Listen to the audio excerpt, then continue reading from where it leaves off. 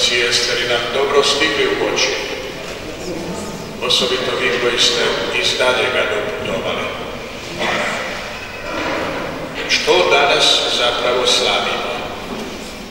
Crkva nas svetkovinom uznesenja Marijina podsjeća da je Bog u Isusu Kristu koji je Mariji čovjekom postao, slomio moć smrti i poveo čovječanstvo prema pobjedi života, prema onoj punini koja se zove vječnost, nebo, kraljevstvo nebesko.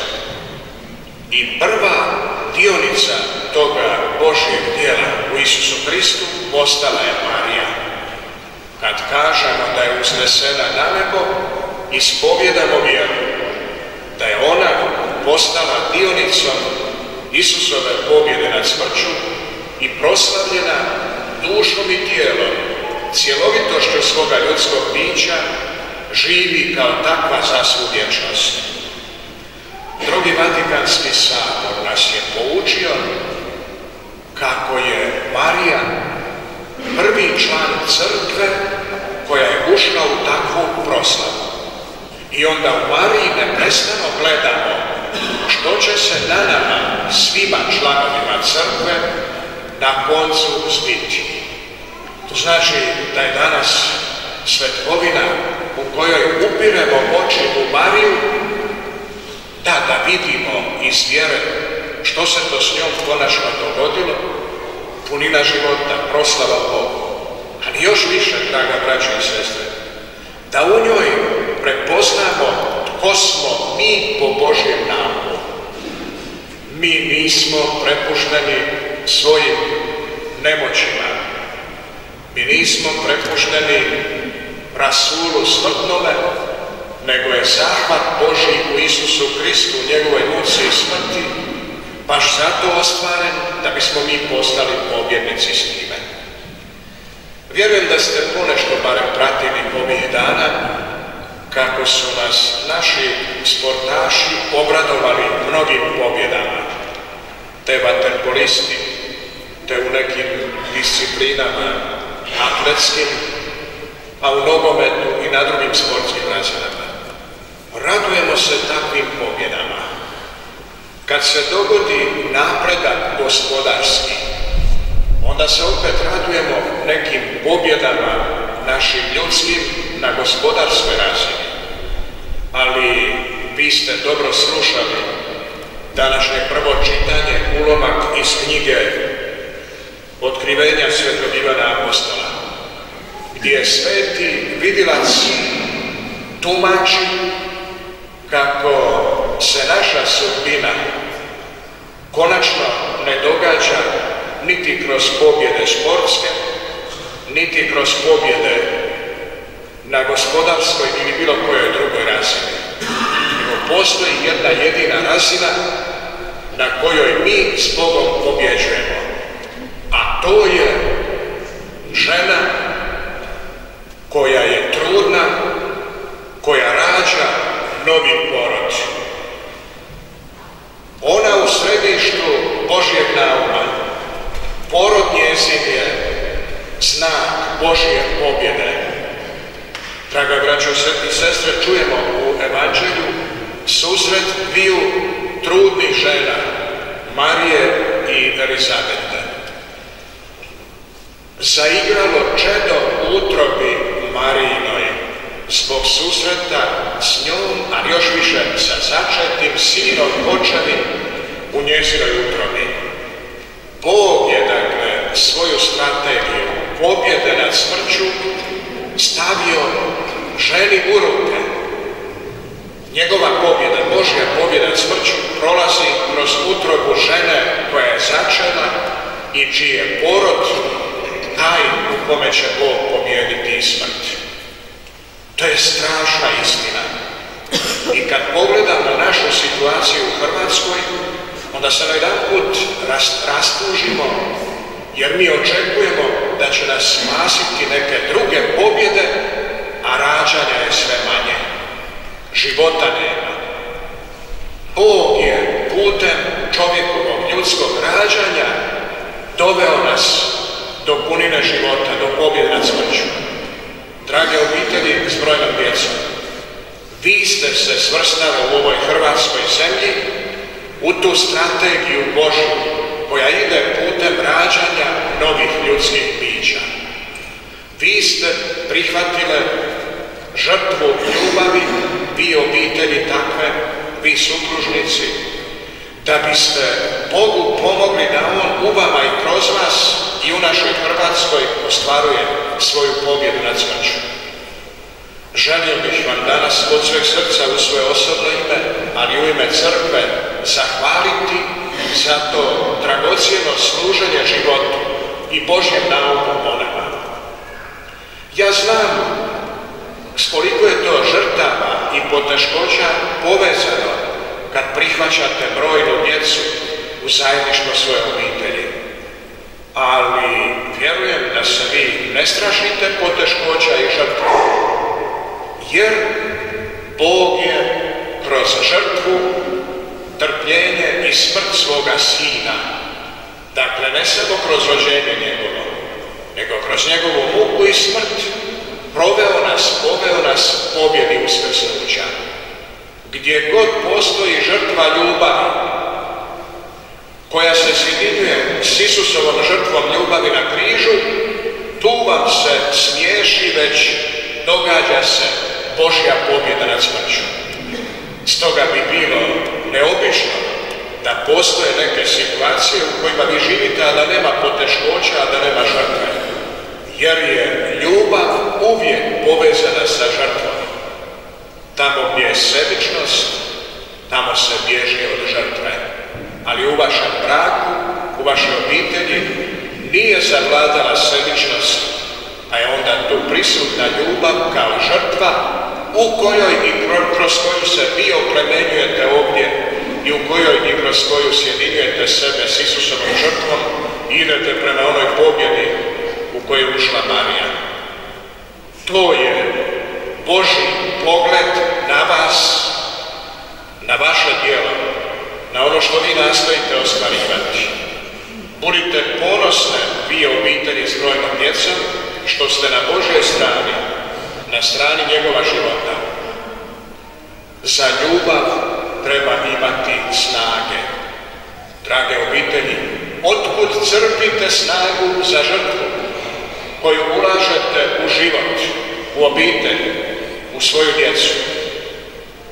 Usuđujem se reći da je crpite iz Isusove ljubavi i njegove žrtve.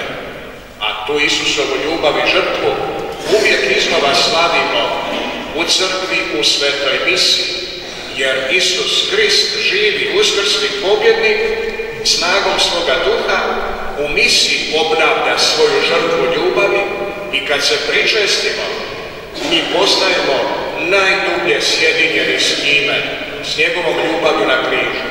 I ta snaga njegova, njegove ljubavi kojom je pobjedio smrt, pomaže vama da vi također tom moći njegove ljubavi pobjeđujete nevolje, poteškoće kojih uvijek ima i koji će uvijek biti. Stoga se radujem svakoj obitelji s brojnom djecom koja je sebe smjestila po svetoj misiji, osobito nedjeljnoj, ozračje Isusove ljubavi s križa koja pobjeđuje. Vi ste nam, obitelji s brojnom djecom, dragocjene u našoj mjesnoj crkvi, u našoj biskupiji.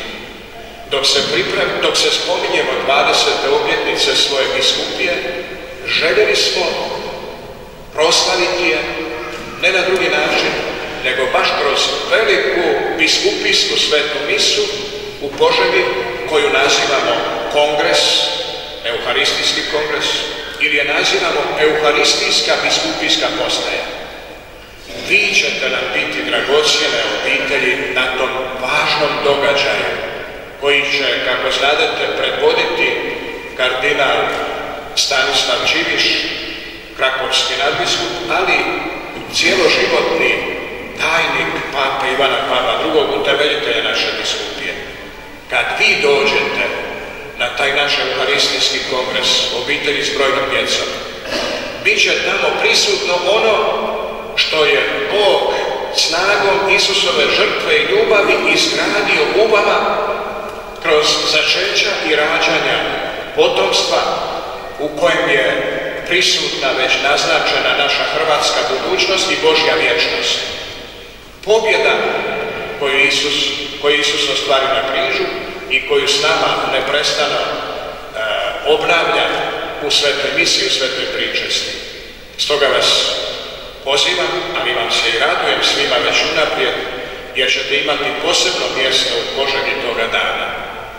Osobito vi, obitelji s brojnom djecom, iz Vočina i iz Žulovca. Zašto ćete nam vi biti posebno važni? Za tu prigodu u Požegi 24. rujna doći će s nama na hodočašće, rekao bih, i naša gospa Božinska. Vi ćete, obitelji s brojnom djecom iz Vočina i Đulovca, svečano odavde iz Vočina dopratiti lik gospe Vočinske koji će biti pred nama i podsjećati nas uz njegova papina tajnika. Podsjećat će nas i ovdje ova slika na papu svetog Ivana Pavla II. utemeljitelja naše biskupije, jer je on, papa 2003. godine, ovaj lik gospe Vočinske okrunio. To znači, ovama ćemo ući u neki dinamizam euharistijski poseban i kad biste vi obitelji s brojnom djecom manjkali na tom događaju, bili bismo tamo siromašniji.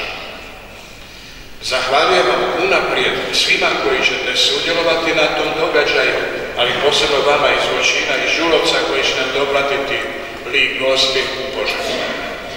Želio bih još jednom. U prvom čitanju tumači nam sveti Ivan kako postoje snage protivne životu, koje žele smrt i dijete začela žena je ugroženo sedmeroglavim zmajem, aždajom, protivnikom života. Koliko li je protivnika života u Hrvatskoj, mogli bismo nabrajati cijeli današnji dan. Ali mi ne želimo se prestrašiti tih protivnika života, nego bismo radije htjeli danas brojiti one koji su u Hrvatskoj za život. I to ne sami, Bogom za život. Kaže sveti pisac da je pobjedila žena koja se opredijelila za život, a ne zmaj koji je protiv života. Mi već osjećamo da u Hrvatskoj pobjeđuje Bog s onim ženama i s onim obiteljima koje su za život i da zmaj sedmeroglavi protoživotni neće u Hrvatskoj pobjediti. To vjerujemo, zato se molimo i tome nadamo. Draga braćo i sestre, svi vi hodočasnici Marijini, uz naše obitelji s brojnom djecom, vjerujem da svojom vjerom čitate našu ljudsku sudbinu ne iz karata, kao neki koji su praznovjerni, ne iz kave, iz soca kave, ne na neki drugi način praznovjerni, nego vi čitate koja je vaša sudbina u Marijinom liku. I susrećući se s njesnom proslavom na nebu, zahvaljujete Bogu što je tako veličanstveno smislio i našu proslavu. I molim vas, molite Mariju i danas, da vam pomogne vjerovati Bogu i njegovom naukom o životu. Surađivati s Bogom i s njegovim naukom o životu, ne dopustiti da vam netko zamrači Božje obzore u duši, pa da počnete razmišljati o sebi, o budućnosti, o vječnosti, o smislu života s drugih, a ne s Božih polazišta. Jer ćete sigurno onda ostati u mraku. Bili blagoslovljeni Marinom pomoću na tom putu životnom, vjerujući životu, pobjedi nad smrću i surađujući s Bogom u tom smislu. Svima vam još jedan put u tim mislima i s tim željama čestitam svetovinu Marina uznesenja na Neka tako bude.